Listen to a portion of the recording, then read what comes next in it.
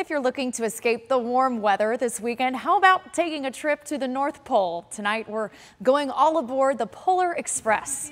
All month long, Brightline has transformed its Miami station into a winter wonderland. Families can hop on board the Polar Express for a magical retelling of the Christmas classic. You can also strap on the ice skates and try out a pop-up ice rink. It's a perfect way to get into the winter spirit, even though it still feels like summer. But to be able to bring that to life in a theatrical performance on board a train, on board an actual train, and to take off and to have Santa on board, it really is a magical thing.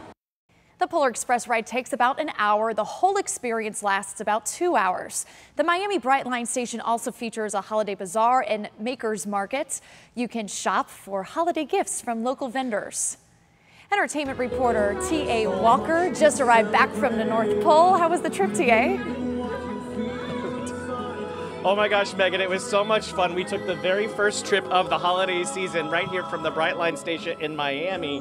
Along the way, they played the, they read the story of the Polar Express. They gave out the best hot chocolate I've had in a long time. It had a little cinnamon on it and some shortbread cakes as well. And then, of course, you have to believe, like Michael Bublé singing right now, and this is the first Christmas miracle right now. Uh, Megan, do you think you and your husband are going to, or your boyfriend are going to take the trip here at uh, Brightline? about it. I have two nieces that I know would just like love it. I know they've never been on it. So I know we have some coworkers here that have kids they've taken and everyone raves about it. You're so lucky. You always have the best job. You get to do all the fun stuff. Was this your like second or how many times have you been on the ride now? Uh, just this first time, and oh, it's a lot of fun. And it's about it's about sixty it's about $60 per ride, and here's some tips for you. You're gonna take the train down here. The whole experience happens in Miami. It doesn't actually go back up to West Palm Beach, and then you can take the train back up to West Palm Beach when you're done. Got it.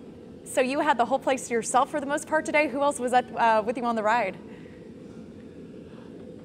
There was about it was friends and family tonight so it debuts tomorrow night and uh, then it goes through the 30th and there, so there's only about about 20 people on board and we had the whole place to ourselves. But it is a show it's a full theatrical production and it was a lot of fun. In miami ta walker wptv news channel 5 ta thanks so much. I know it's a great local attraction and maybe a tradition families can continue to build upon